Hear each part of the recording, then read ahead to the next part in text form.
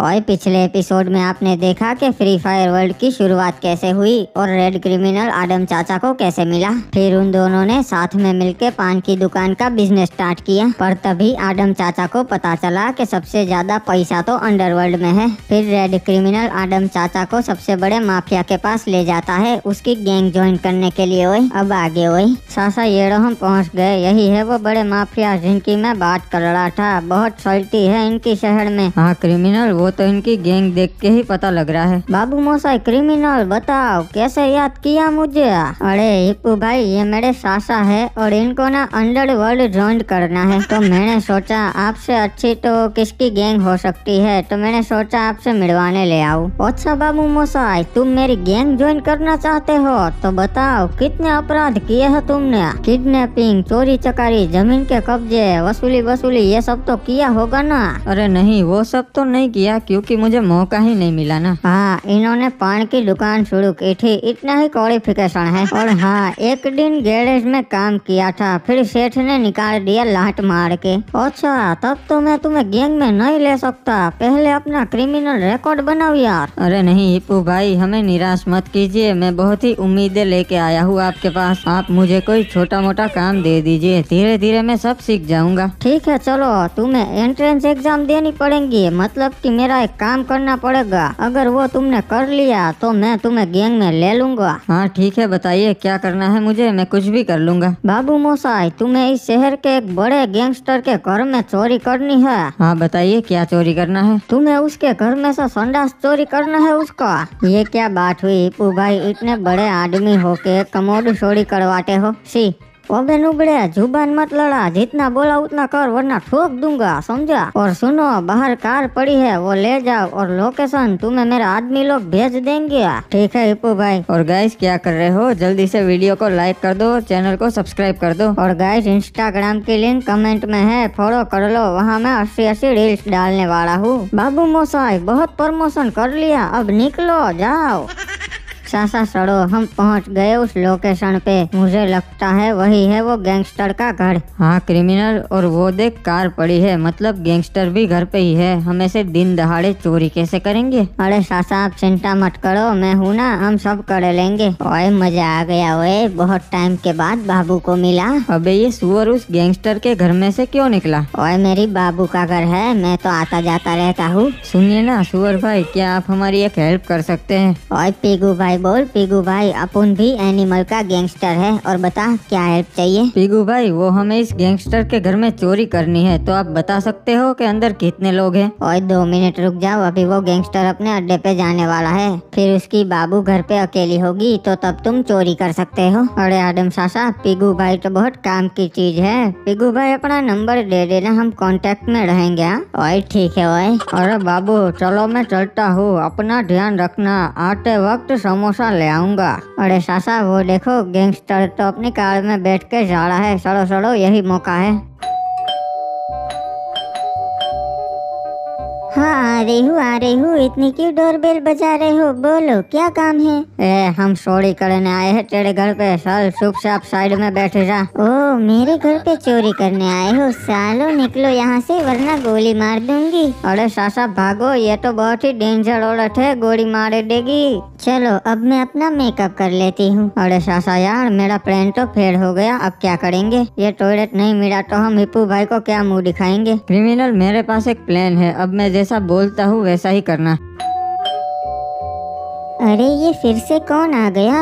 हाँ बोलो क्या काम है आपको? अरे बहन जी हम प्रो टॉयलेट क्लीनर है। क्या आपके टॉयलेट में नमक है? हुँ? अबे साले क्या बोल रहा है? नमक नहीं कीटाणु जॉम्स हाँ सॉरी सॉरी क्या आपके टॉयलेट में कीटाणु है तो चिंता मत कीजिए हम साफ़ कर देंगे। नहीं हमारे टॉयलेट में कोई कीटाणु नहीं है जाओ हमें नहीं साफ़ करवाना है हा? अरे बहन जी सुनिए तो सही फ्री सर्विस है। हाँ हम फ्री में आपका टॉयलेट साफ़ कर देंगे और वहाँ परफ्यूम भी लगा देंगे। अच्छा ये बात है तो चलो मेरे पीछे आओ मैं घर का टॉयलेट दिखा देती हूँ अच्छे से साफ़ करना है? अरे एक मिनट हम तो हमारी बंदूक घर पे ही भूल गए साला फिर से घर वापस जाना पड़ेगा। ये रहा टॉयलेट अच्छे से साफ़ करना हाँ कोई जम्स ना रह जाए। अरे बहन जी एकदम अच्छे से साफ़ कर देंगे चिंता मत कीजिए। अरे यार मेहमान आए हैं आपके घर में तो आप हमें चाय पानी का नहीं पूछेंगी? जाओ हाँ हम दोनों के लिए चाय बनाओ और चिप्स भी लाना थोड़ी। तब तक हम आपका टॉयलेट अच्छे से साफ़ कर देते हैं हाँ। ठीक है चलो मैं तुम दोनों के लिए चाय बना के लाती हूँ हाँ अदरक वाली। अरे ससुरा ई का एक इसकी कार पड़ी है? हमारे घर पे और ये सामान भी पड़ा है। लगता है कोई सेल्समैन आया है। चल क्रिमिनल टॉयलेट उठा ले यही सही मौका है भाग जाते हैं। अरे नहीं नहीं सासा यार चाय पी के जाएँगे हाँ रुको। अरे बाबू ये कोई सेल्समैन आया है क्या हमारे घर पे? हाँ वो टॉयलेट क्लीनर आए हैं फ्री में टॉयलेट साफ़ कर दे रहे हैं। अरे फ्री में तो कोई साफ़ नहीं कर देता भाई अच्छे आदमी लगता है। हाँ वो अभी आपका टॉयलेट ही साफ़ कर रहे हैं। अबे अगर चाय पियेंगे तो मास्क उतारना पड़ेगा पकड़े जाएँगे। अरे वो ससुर चोर है अभी बताता हूँ सालों को। हाँ सासा यार ये तो मैंने सोचा ही नहीं। सालो तुमको गोली मार देंगे। अब ये क्या? हमारा टॉयलेट चोरी हो गया हम बर्बाद हो गए। सासा यार क्या ही टाइमिंग थी? बार बार बसे। हाँ क्रिमिनल अगर वो गैंगस्टर हमें देख लेता तो पक्का गोली मार देता। सासा ये क्या दिन आ गए हैं? लोग आजकल टॉयलेट चोरी करवा रहे हैं बताओ। हाँ क्रिमिनल क्या करे करना पड़ता है। अबे देख के बीच में कार आ गई। अबे साले अंधा है क्या? दिखता नहीं है। रेड सिग्नल है, फिर भी रोड क्रॉस कर रहा है। चल बाहर निकल साले, अभी तुझे बताता हूँ तेरी ऐसी की तैसी। सिग्नल विग्नल मैं ना देखू, सू। अबे मेरे से जबान लड़ाता है तुझे पता भी है मैं कौन हूँ। अबे मेरे भाई को मार रहा है और वो भी मेरे एरिया में। Ranga Billa John Lucas Peter Parker आ जाओ सारे। हाँ भैया जी यही काट देंगे साले को। अरे भैया लड़ने झगड़ने में क्या रखा है? हम भाईचारे में सब कुछ सॉल्व कर लेते हैं क्या बोलते हो? नहीं नहीं तूने मेरे छोटे भाई पे हाथ उठाया है तो आज मैं वो हाथ ही खाच दूँगा। अरे सासा यार बसाओ। अरे क्रिमिनल कितने सारे लोग हैं मैं कुछ नहीं कर सकता। भाई एक काम कर चुपचाप मार खा ले फिर चलते हैं। तो चलो भाई लोग अभी इनसे मेरे भाई का हिसाब छुपता खोल लेते हैं। अरे कोबरे क्या इन बच्चों के साथ हाथापाई कर रहा है? छोड़ दे इन बच्चों को और जा अपनी पानी पूरी बेच। अरे ओ चाचा तुम हमारे रास्ते में मत आओ वरना तुमको भी निपटा देंगे। अबे ओ कोबरे तू मुझे निपटाने की बात करता है तो चला जा। रे भैया भागो, इसके पास तो घोड़ा से ठोक देगो। बड़े आए मुझसे लड़ने वाले।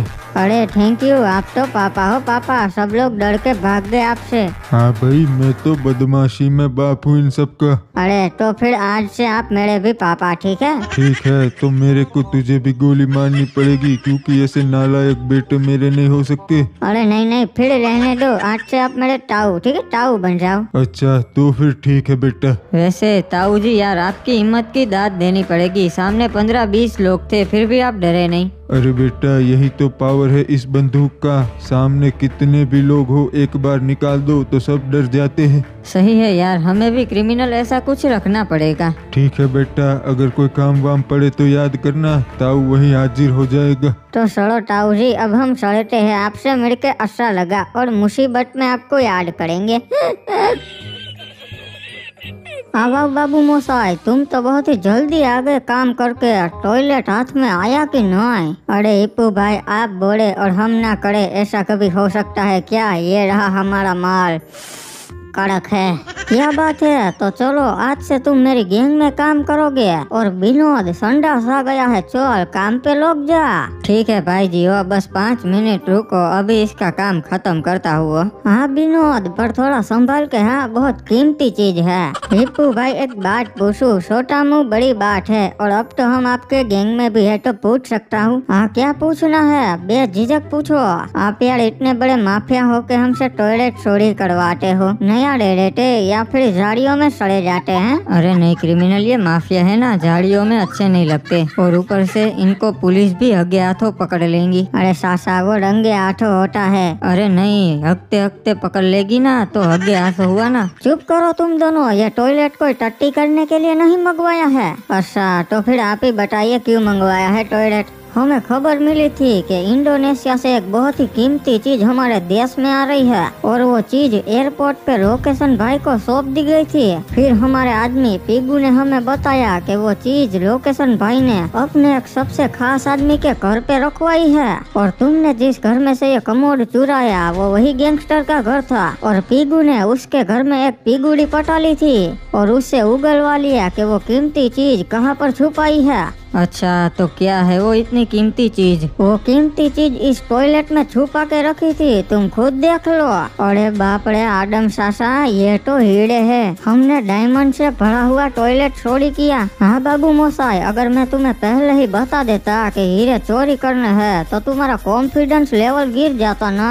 सही है यार, हमने तो कर दिखाया। सुनो अब तुमने लोकेशन बॉस के हीरे चोरी कर लिए हैं तो वो अब तुम्हें नहीं छोड़ेगा। अरे बाप रे तो अब हम क्या करें? अब तुम्हें एक ही चीज़ करना है मेरे दुश्मन और तुम्हारे दुश्मन लोकेशन भाई को खत्म करना है वरना वो तुम्हें खत्म कर देगा ये तो पक्की बात है। अरे ये आपने हमें किस मुसीबत में डाल दिया? अरे लोकेशन भाई तो आपके लेवल का गैंगस्टर है उसे हम मामूली आदमी कैसे मारेंगे? हाँ मैंने सुना है वो तो समुद्र के बीच अपनी क्रूज में रहता है अपने बॉडीगार्ड्स के साथ जिनके पास मॉडर्न वेपन होते हैं, उसे मारना तो क्या छूना भी नामुमकिन है। नहीं बाबू मोसाई उसे मारना तो पड़ेगा, वरना वो तुम्हें नहीं छोड़ेगा।